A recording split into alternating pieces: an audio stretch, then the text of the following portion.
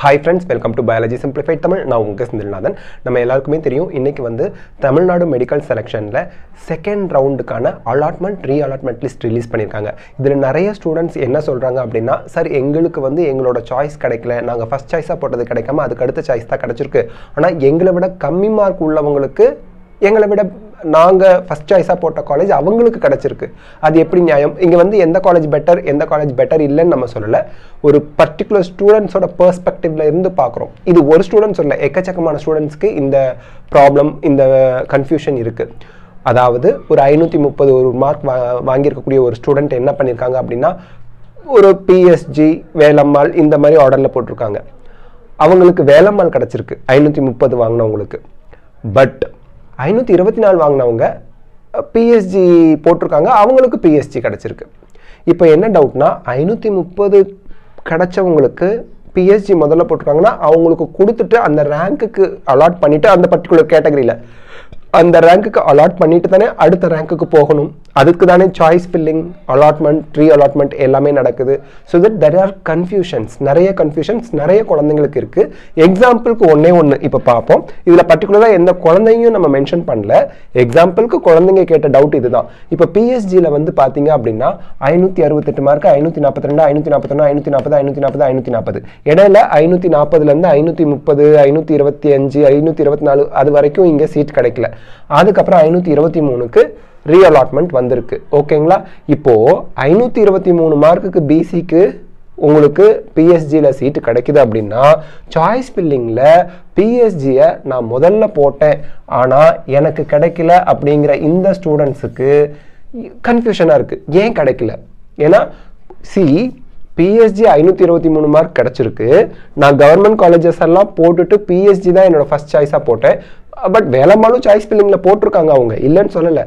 But என்னோட first choice government காலேஜஸ்லாம் எனக்கு seat கிடைக்கல என் மார்க்குக்கு ஓகே அக்செப்டட் பட் என்னோட செல்ஃப் ஃபினான்ஸ் காலேஜில் ஃபஸ்ட்டு சாய்ஸாக போட்ட காலேஜ் எனக்கு கிடைக்காம எனக்கு பின்னாடி இருக்கிற ரேங்க்கில் உள்ளவங்களுக்கு கிடச்சிருக்கு.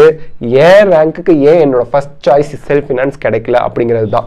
ஸோ இந்த கன்ஃபியூஷனை தமிழ்நாடு மெடிக்கல் செலெக்ஷன் சீக்கிரமே தீர்த்து வைக்கணும். ஏன்னா ஸ்டூடெண்ட்ஸ் எல்லாமே ஒரு ஒரு என்ன சொல்கிறது ஒரு பதற்றத்தில் இருக்காங்க. ஏன்னா ஆன்லைன் கவுன்சிலிங் நம்ம கரெக்டாக தான் பண்ணணும். ஏன் நமக்கு இப்படி ரிசல்ட் மாறி வந்திருக்கு அப்படின்னு கன்ஃபியூஷனில் இருக்காங்க. ஸ்டூடெண்ட்ஸ் நீங்கள் என்ன பண்ணணும் அப்படின்னா தமிழ்நாடு மெடிக்கல் செலெக்ஷனுக்கு மெயில் பண்ணுங்கள் கண்டிப்பாக நீங்கள் உங்களோட சாய்ஸ் ஃபில்லிங் பண்ணதை பிரிண்ட் அவுட் எடுத்து வச்சுருப்பீங்க.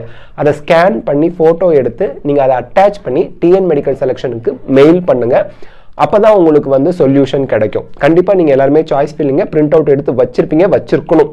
இல்லைனா நீங்கள் எப்படி கேட்க முடியும்? உங்களோட சாய்ஸ் ஃபில்லிங் எப்படி நம்ம ப்ரூஃப் பண்ண முடியும்? ஸோ தட் அந்த பிரிண்ட் அவுட்டை எடுத்து நான் கூட டெமோ வீடியோ போடும்போது பிரிண்ட் அவுட் கூட எடுத்து காமிச்சேங்க. ஸோ பிரிண்ட் அவுட் உங்கள் கையில் இருக்கணும். கண்டிப்பாக இருக்கும். பார்த்துக்குங்க. ஸோ கைண்ட்லி நம்ம டிஎன் மெடிக்கல் செலெக்ஷனுக்கும் சொல்கிறோம் ஸ்டூடெண்ட்ஸ்க்கும் சொல்கிறோம் ஸ்டூடெண்ட்ஸ் வந்து உங்களோட சாய்ஸ் ஃபில்லிங்கை இன்னொரு தடவை செக் பண்ணுங்கள் கரெக்டாக பிஎஸ்ஜி போட்டுட்டு தான் வேலைமால் போட்டிங்களா? இல்லை வேலைமால் போட்டுட்டு பிஎஸ்ஜி அதுக்கு அடுத்து போட்டிருந்தீங்களாங்கிறத ஒரு தடவை செக் பண்ணுங்க. கண்டிப்பாக அதை செக் பண்ணிட்டு தான் நீங்கள் கமெண்ட் செக்ஷனில் சொல்லியிருப்பீங்க. இந்த மாதிரி எனக்கு பிஎஸ்ஜி கிடைக்கல ஆனால் வேலைமால் கிடச்சிருக்கு. எனக்கு அடுத்த ரேங்க்ல இருக்கவங்களுக்கு பிஎஸ்ஜி கிடச்சிருக்கு. ஆனால் பிஎஸ்ஜி தான் நான் ஃபஸ்ட் சாய்ஸாக போட்டிருக்கேன் செல்ஃப் ஃபினான்ஸில் அப்படின்னு நீங்கள் கரெக்டாக தான் சொல்லுவீங்க. அதில் நான் எந்த மாற்று கருத்தும் இல்லை. இருந்தாலும் நம்ம செக் பண்ணிக்கிறது நல்லதுங்க.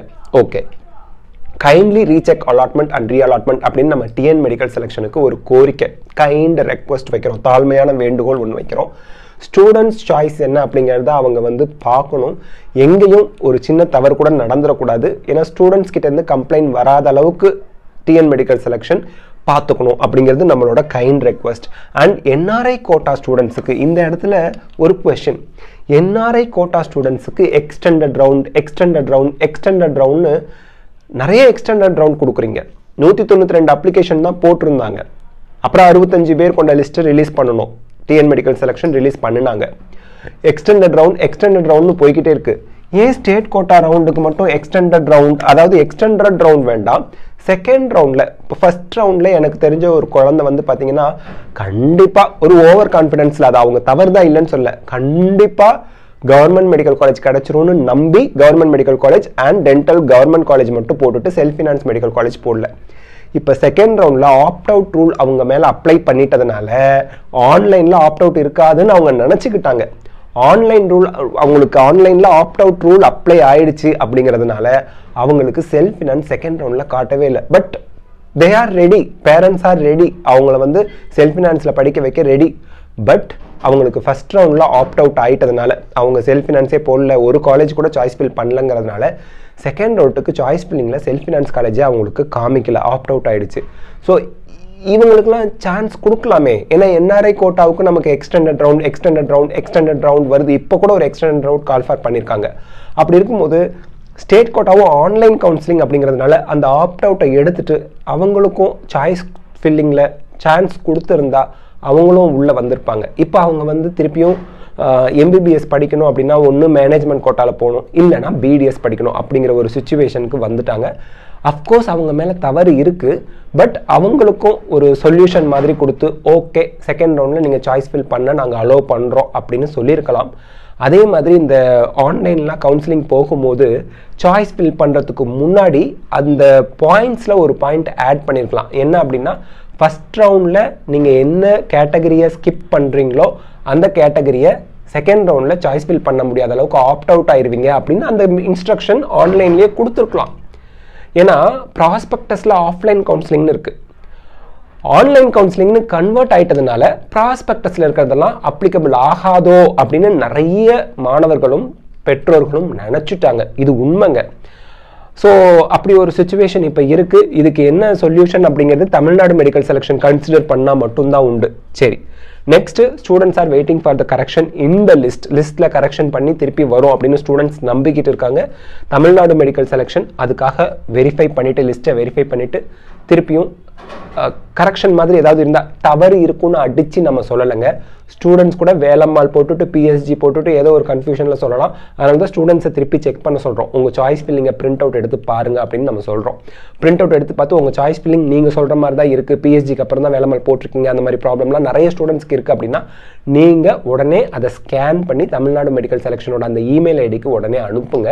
அப்போ தான் அவங்களுக்கு இந்த விஷயம் போய் ரீச் ஆனால் தான் நமக்கு இந்த லிஸ்ட்டை கரெக்ஷன் பண்ணி விடுறதுக்கான வாய்ப்புகள் இருக்குது இல்லைன்னா இப்படியே இது கண்டினியூ ஆகிடும் அதனால் நீங்கள் பார்த்துக்குங்க ஸோ தமிழ்நாடு மெடிக்கல் செலெக்ஷனுக்கும் ஒரு தாழ்மையான வேண்டுகோள். இது இந்த நேரத்தில் நம்ம வச்சுக்கிறோம். ஸ்டூடெண்ட் சார்பாக பெற்றோர்கள் சார்பாக ஸோ தட்ஸ் இட் இந்த வீடியோ உங்களுக்கு ஹெல்ப்ஃபுல்லாக இருக்கா? லைக் ஷேர் கமெண்ட் பண்ணுங்கள் பயாலஜி சிம்பிளிஃபைட் தமிழ் சேனலுக்கு சப்ஸ்கிரைப் பண்ணுங்கள் உங்கள் சப்போர்ட் தான் நம்மளோட ஸ்ட்ரென்த் தேங்க்யூ